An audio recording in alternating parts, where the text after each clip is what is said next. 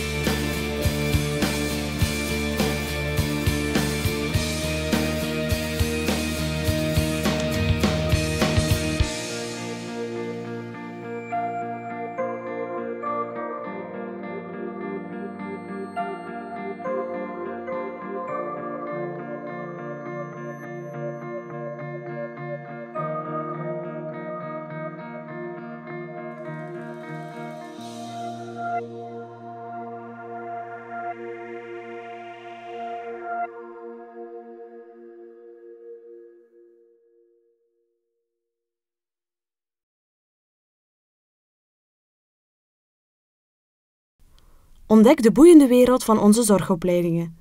Bezoek ons van 10 tot 17 uur.